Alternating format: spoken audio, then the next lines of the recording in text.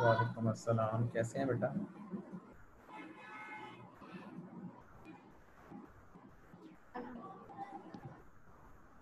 ठीक है तो बेटा लास्ट टाइम सैटरडे को जो हमने लेक्चर पढ़ा था आप लोगों ने, वो बातें आप लोगों को क्लियर हो गई थी सारी?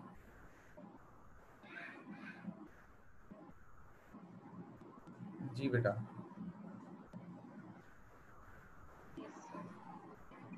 अच्छा क्लियर हो गए ठीक है चले। एक आध मिनट देखते हैं। बच्चे ऐड हो जाएँ तो फिर हम जो है वो अपनी क्लास स्टार्ट करते हैं। अस्सलाम वालेकुम सर वालेकुम अस्सलाम। कैसे हैं बेटा? जी सर अल्लाह पाक का शुक्र फिर तो बड़ी अच्छी बात है मुझे बताएँ कि स्क्रीन सबके साथ शेयर हो रही है? जी सर हो रही हो।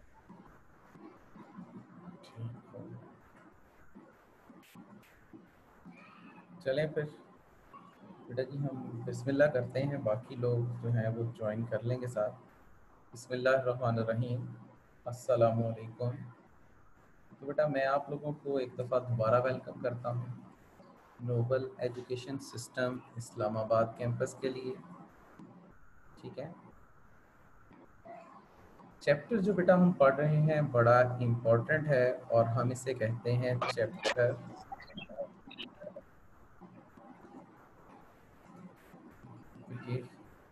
चैप्टर है हमारे पास सिक्सटीन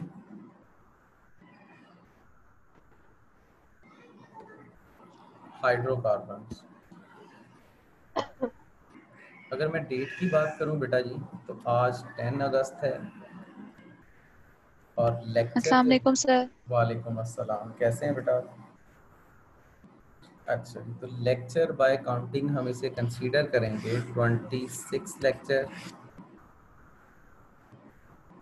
हम जो चीज़ पढ़ रहे हैं आजकल वो हम पढ़ रहे हैं बेटा reactions of alkenes reactions of alkenes में कल जो हमने लास्ट टाइम बात की थी, हम जहाँ तक कर चुके थे उससे आगे अब मैं बात स्टार्ट करूँगा।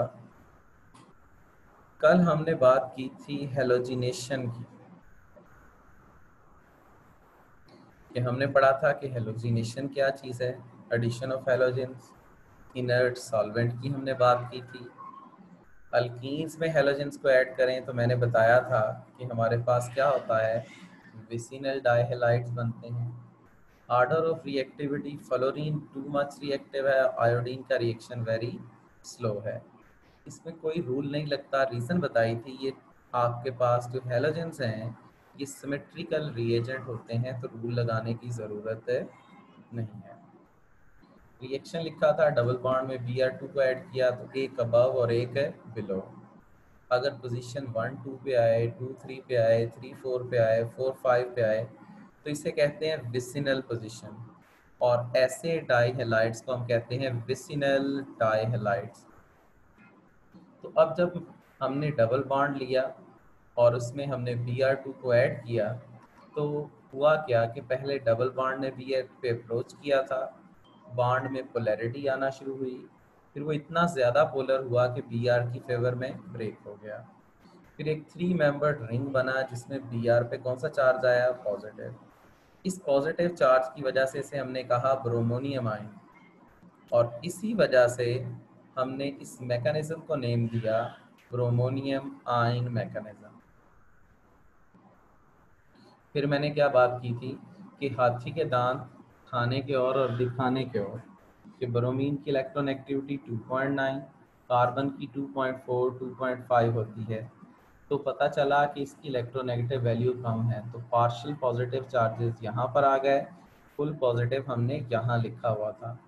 तो बी आर ने कार्बन पे अटैक किया, एक बी आर अबव से और दूसरा बिलो से ऐड हुआ। ऐसी एडिशन को कहते हैं एंटी एडिशन और प्रोडक्ट कौन से हमारे पास बने थे? विसिनल डाइब्रोमाइड कल हमने यहाँ तक बात की थी। ऐसे ही है बेटा? आज जी जो हमने हाँ जी शाबाश। आज जो हमने चीज़ जो स्टार्ट करनी है हमारे पास वो है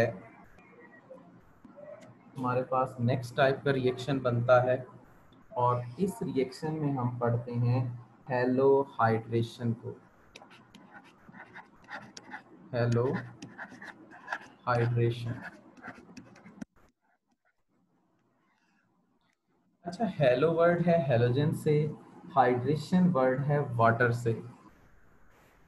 तो इसमें अगर हम बात करें तो बेटा बेसिकली हमारे पास क्या है? इसमें क्या होता है? इसमें भी आपके पास एडिशन होती है। Addition of hypohalous acid H X को बेटा हम क्या कहते हैं? इसे हम कहते हैं hypohalous acid hypohalous acid addition of hypohalous acid to alkenes कि अगर आप कार्बन कार्बन डबल बॉन्ड लें, उसमें एच एक्स को ऐड करें तो ऐसे रिएक्शंस को हम कहते हैं हेलो हाइड्रेशन इसे बेटा क्या कहा जाता है? हेलो हाइड्रेशन अच्छा जी हेलो हाइड्रेशन हमारे पास क्या है? बड़ा सिंपल हमारे पास बेटा रिएक्शन है। इसमें जो चीज़ बेटा इम्पोर्टेंट है, हम क्या करते हैं, हम हेलोजेंस को ऐड करते हैं किसके अंदर? वाटर के अंदर। जब हम हेलोजेंस को वाटर में ऐड करते हैं तो होता क्या है हमारे पास? एक प्रोडक्ट बनता है एच एक्स और एक बनता है H O X H X को हम कहते हैं हेलोजेन एसिड हेलोजन एसिड और ये एच एक्स है, इसे कहते हैं हाइपोहेलस एसिड असल में ऐसे हमारे पास होता क्यों है? ठीक है? आपके पास हेलोजेंस की जब हम बात करते हैं तो हेलोजेंस का पॉजिटिव पार्ट है ओ OH के साथ अटैच हो जाता है और हेलोजेंस का नेगेटिव पार्ट जो है, वो एच के साथ अटैच हो जाता है। जिसका रिज़ल्ट क्या होता है कि एक एसिड बनता है हेलोजन और दूसरा एसिड बनता है आपके पास हाइपोहेलस एसिड ये हाइपोहेलस एसिड जो है, वो अनस्टेबल होता है। तो इसे हमेशा फ्रेशली बनाते हैं और इसे रिएक्ट करवा लेते हैं। अच्छा जी। इसमें जो चीज़ इम्पोर्टेंट है हमारे याद रखने वाली, ये चीज़ बेटा आप सबको याद रहनी चाहिए कि हम हाइपोहेलस एसिड जो है वो फ्लोरीन से प्रोड्यूस नहीं कर सकते। वी कैन नॉट प्रोड्यूस जी बेटा, पूछें? सर, ये ऊपर वाला रिएक्शन दोबारा समझा देंगे। समझा देंगे बेटा। इसमें देखें, मैं क्या करता हूँ, इस रिएक्शन को यहाँ नीचे लिखकर हम पहले समझ लेते हैं, फिर बाकी बात हम बाद में पढ़ लेंगे। हेलोजन हेलोजन कौन सा बॉन्ड है? सिंगल बॉन्ड आपने इसे किसके साथ रिएक्ट करवाया? एच ओ एच के साथ। ऑक्सीजन की इलेक्ट्रोनेगेटिव वैल्यू ज़्यादा होती है और हाइड्रोजन की कम। इस पर चार्ज होगा पार्शल पॉजिटिव इस पर चार्ज होगा पार्शल नेगेटिव ये बाड यहाँ से भी ब्रेक होगा और यहाँ से भी ब्रेक होगा। तो क्या होगा जो पॉजिटिव पार्ट है वो नेगेटिव पार्ट को अपने साथ अटैच कर लेगा और जो नेगेटिव पार्ट है वो पॉजिटिव पार्ट को अपने साथ अटैच कर लेगा। तो एक बनेगा एच एक्स और एक बनेगा एच ओ एक्स अब बात क्लियर होगी बेटा? जी सर अब हम जो है वो अपनी बात जहाँ पर कर रहे थे, उसे हम प्रोड्यूस कर रहे थे। मैं बात कर रहा था कि we can not produce hypofluorous acid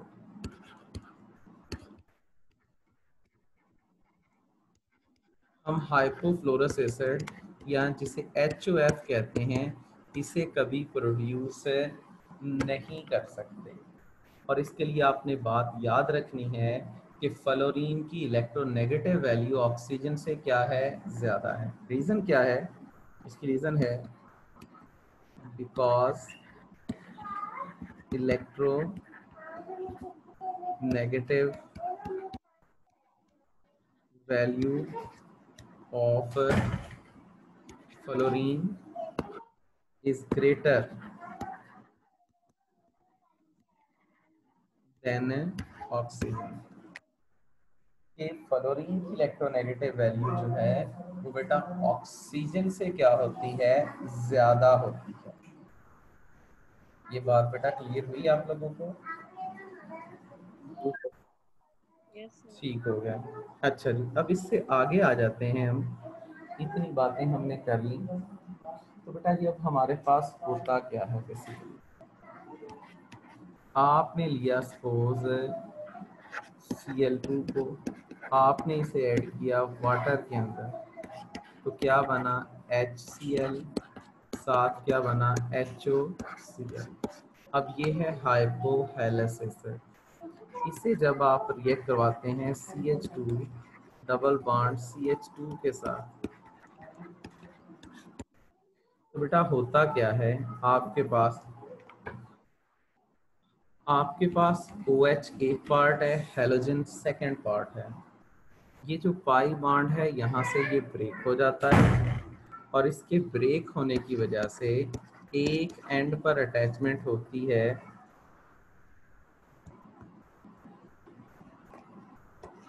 आपके पास ओ OH की और दूसरे एंड पर अटैचमेंट होती है।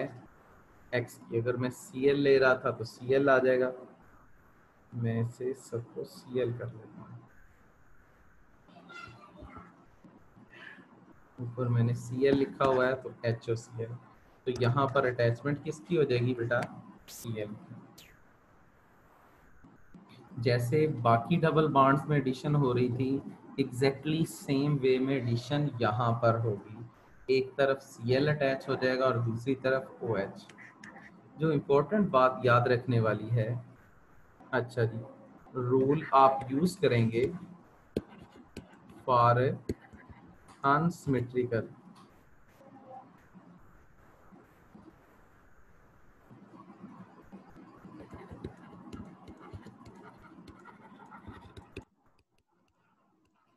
अल्कीन अगर अनसिमेट्रिकल आपने अल्कीन ली है तो तब बेटा जी आपको रूल यूज़ करना पड़ेगा। मसलन, मैं बेटा ये ले लेता हूँ C H three C H double bond C H two इसके अंदर हम सी एल टू को ऐड करते हैं in the presence of water तो अब आपने रिएक्शन कहाँ पर करवाना है? डबल बॉन्ड पोजीशन पर.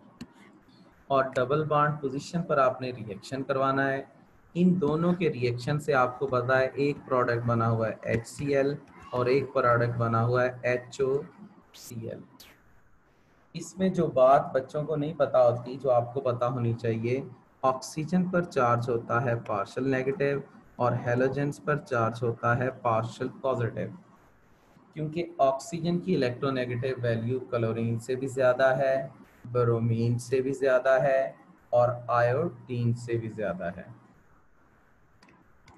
तो अब आपको पता है पॉजिटिव पार्ट को हम उस कार्बन के साथ अटैच करते हैं जिसके पास नंबर ऑफ़ हाइड्रोजन क्या हो? ज़्यादा हो. तो सी एल यहाँ पर अटैच हो जाएगा और ओ एच यहाँ पर अटैच हो जाएगा।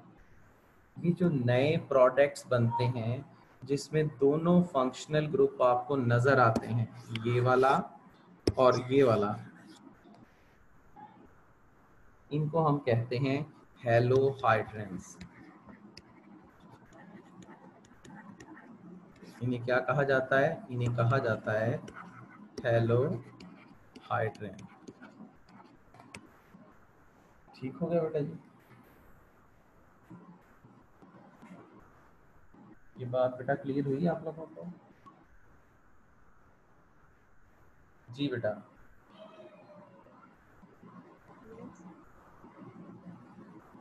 आवाज़ बड़ी स्लो आई है आपकी।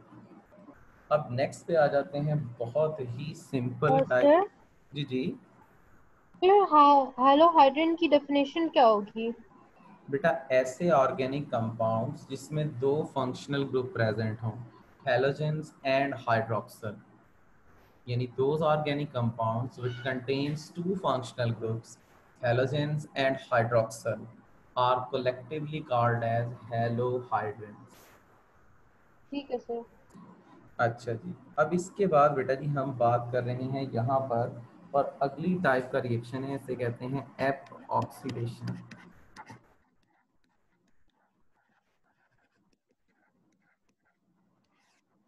अब एप ऑक्सीडेशन हमारे पास क्या है? ठीक है। इसके अंदर हम बनाते हैं किस चीज़ को? एपॉक्साइड्स को। ठीक है। फॉर्मेशन है बेसिकली ऑफ़ एप ऑक्साइड्स अच्छा जी। अब एप ऑक्साइड्स की बेसिकली हमारे पास ये क्या है? फॉर्मेशन है। अच्छा जी। इसमें होता क्या है? हम करते क्या हैं? हम लेते हैं अल्कीन्स को। हम अल्कीन्स को रिएक्ट करवाते हैं पर एसिड्स के साथ। पर एसिड्स के साथ। और हमारा जो प्रोडक्ट है वो हमारा एक तो प्रोडक्ट एसिड बनता है और एक बनता है एपॉक्साइड एपॉक्साइड बनता है प्लस आपके पास क्या बनता है? कार्बोक्सिलिक एसिड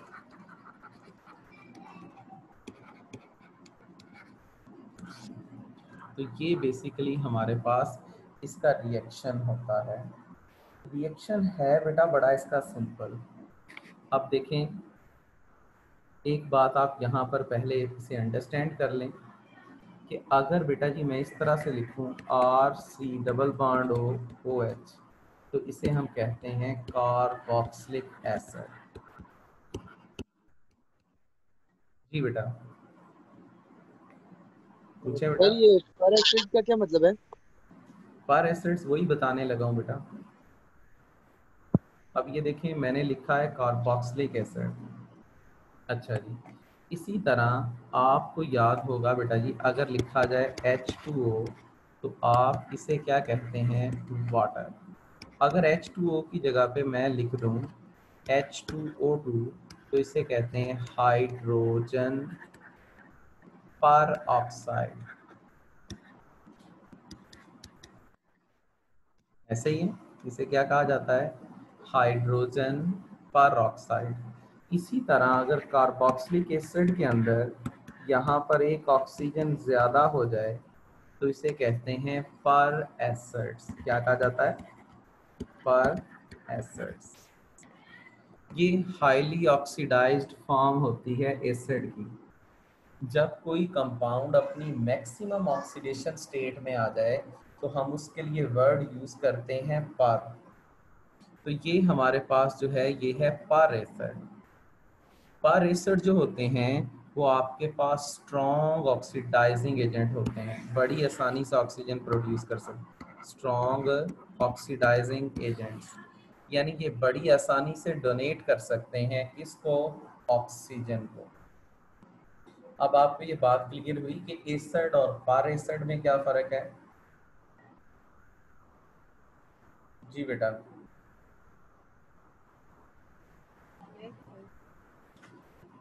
अच्छा जी।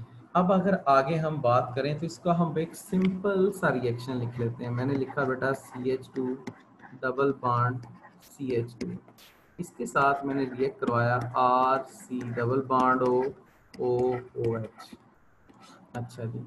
इसके लिए जो सॉल्वेंट आमतौर पर यूज़ करते हैं, वो होता है methyl chloride C H C L three जिसे हम आम तौर पर क्लोरोफॉर्म भी कहते हैं।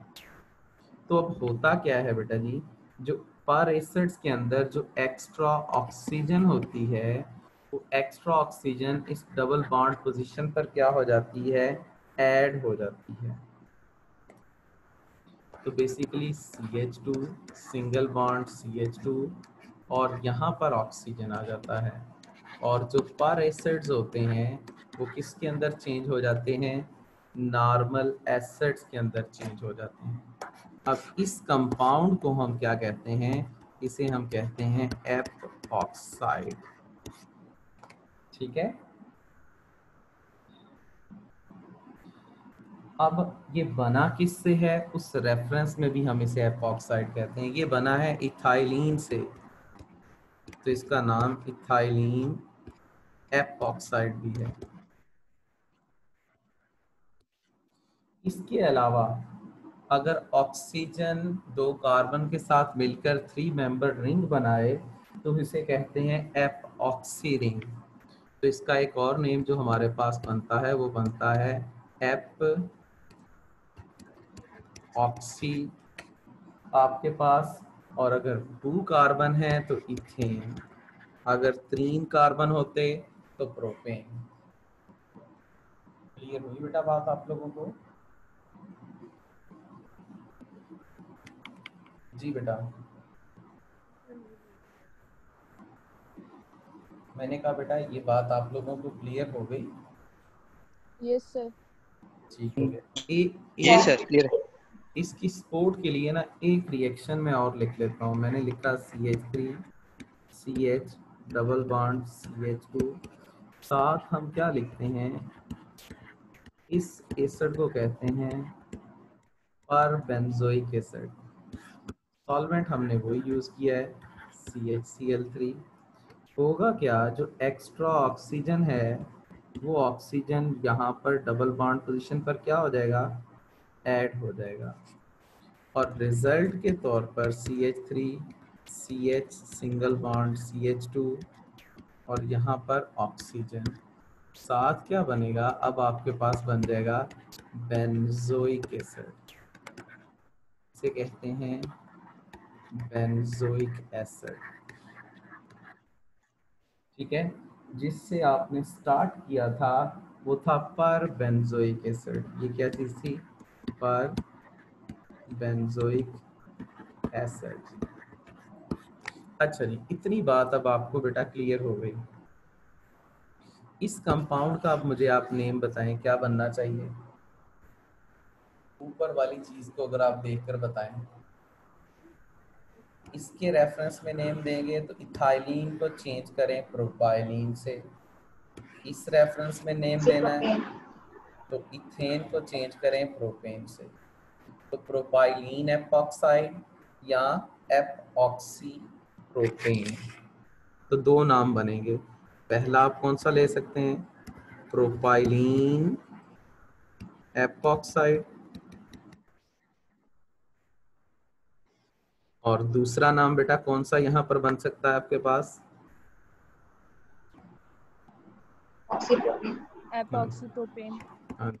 एपॉक्सी प्रोपेन तो ये यहाँ तक बात आप लोगों को क्लियर होगी बेटा? सर जी। सर एक सवाल है कि अगर दो कार्बन होंगे तब सिर्फ़ उसका नाम एपॉक्साइड रख सकते हैं। नहीं बेटा एपॉक्साइड क्लास ऑफ़ कंपाउंड है। जैसे आप अल्केन्स कहते हैं ना इसी तरह ये एपॉक्साइड जो है ये नेम ऑफ़ क्लास है। नेम ऑफ़ क्लास जैसे आप अल्केन कहते हैं अल्कीन्स कहते हैं अल्काइंस। कहते हैं इसी तरह- हाँ। जी इस तरह ये एपॉक्साइड है और उसमें आगे name methylene epoxide propylene butylene ये कॉमन नेम होते हैं और नीचे जो मैंने एपॉक्सी लिखा है ये आयोपैक नेम है। जो सेकंड नेम लिख रहा जी। क्लियर होगी बेटा बात? अब जो बेटा मैं टॉप हाँ। जी अब जो मैं टॉपिक लिखने लगा हूँ बेटा ये एग्जामिनेशन पॉइंट ऑफ़ व्यू से बहुत इम्पोर्टेंट है। अक्सर एग्ज़ाम के अंदर इस क्वेश्चन को दे दिया जाता है। इससे रिलेटेड क्वेश्चन भी कैसे बनाए जाते हैं वो मैं अभी आपको जो है वो एक्सप्लेन करूँगा। तो अभी जो हम चीज़ पढ़ने जा रहे हैं, वो है ओजोनोलाइसिस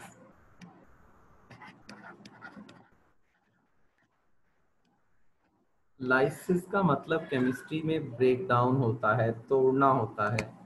ओजोनोलाइसिस का मतलब है ओजोन की प्रेजेंस में तोड़ना। इलेक्ट्रोलाइसिस का मतलब होता है इलेक्ट्रिसिटी की प्रेजेंस में तोड़ना। हाइड्रोलाइसिस का मतलब होता है वाटर की प्रेजेंस में तोड़ना। ठीक है? तो लाइसिस का मतलब केमिस्ट्री में क्या है? ब्रेक डाउन है। हाइड्रोलाइसिस वाटर की प्रेजेंस में तोड़ना। इलेक्ट्रोलाइसिस इलेक्ट्रिसिटी की प्रेजेंस में तोड़ना। ओजोनोलाइसिस ओजोन की प्रेजेंस के अंदर क्या करनी है बेटा? ब्रेक डाउन करनी है। अच्छा जी ओजोनोलाइसिस में हमारे पास बेसिकली होता क्या है? इसमें पहली चीज़ जो आपने बेटा याद रखनी है, जब हम ओजोन को रिएक्ट करवाते हैं अल्कीन्स के साथ तो ये बातें पहले लिख लें, फिर हम इसका मैकेनिज्म लिखेंगे। When ozone react with alkene जब ओजोन बेटा किसके साथ रिएक्ट करती है? अल्कीन्स के साथ। अच्छा जी। इट फॉर्म ये बनाती है। क्या चीज़? ये आपके पास प्रोड्यूस करती है मोलोजोनाइट। It form molozonide. इससे क्या चीज़ बनती है? मोलोजोनाइट बनता है। अब दूसरी बात जो आपने जेन में रखनी है। मोलोजोनाइट इज़ अनस्टेबल जो मोलोजोनाइट है, वो क्या है? अनस्टेबल है। ठीक है? So it rearrange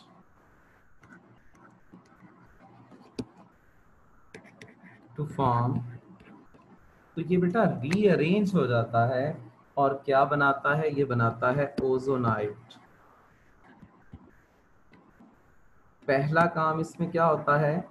अल्कीन्स के साथ ओजोन रिएक्ट करती है तो मोलोजोनाइट बनता है। मोलोजोनाइट अनस्टेबल है तो रीअरेंज होकर क्या बनाता है? ओजोनाइड बनाता है। फिर ओजोनाइड्स की रिडक्शन होती है। Reduction of ozonide with water produce carbonyl compounds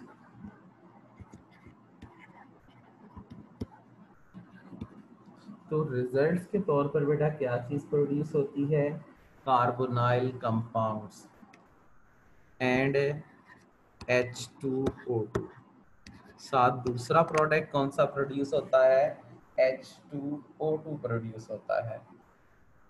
फिर हम एच टू ओ टू को क्या करते हैं?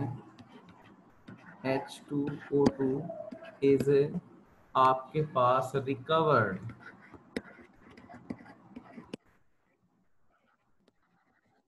बाय जिंक डस्ट और इसे हम रिकवर कर लेते हैं किस चीज़ से? जिंक डस्ट के साथ. ठीक हो गया बेटा? अब मैं एक दफ़ा ये बात रिपीट करके इसके मैकेनिज्म पे बेटा आ जाऊँगा। मैंने कहा, जब ओजोन रिएक्ट करती है अल्कीन से तो ये क्या बनाती है? मोलोजोनाइट। मोलोजोनाइट स्टेबल कंपाउंड नहीं है तो रीअरेंज होकर क्या देता है? ओजोनाइट। ओजोनाइट की रिडक्शन हो जाती है किससे? वाटर से। और क्या चीज़ प्रोड्यूस होती है? कार्बोनाइल कंपाउंड साथ क्या बनता है? H2O2 H2O2 जो है, वो रिकवर्ड होता है किससे बेटा? जिंक डस्ट से। इतनी बात बेटा क्लियर हो गई आपको? अब हम यहाँ पर इसके रिएक्शन पे आ जाते हैं। तो रिएक्शन देखें बेटा, बहुत सिंपल है। हमने लिखा C H two double bond C H two इसके साथ हमने किसको रिएक्ट करवाया? हमने इसके साथ रिएक्ट करवाया ओजोन को, यानी ओ थ्री को। अब आपके पास क्या होगा? पहले आपके पास रिंग जो है वो ब्रेक होगा। ब्रेक होने से अब यहाँ पर ओजोन जो है वो ऐड हो जाएगा। अब ये जो प्रोडक्ट बना है, बेटा हम इसको नेम क्या देते हैं?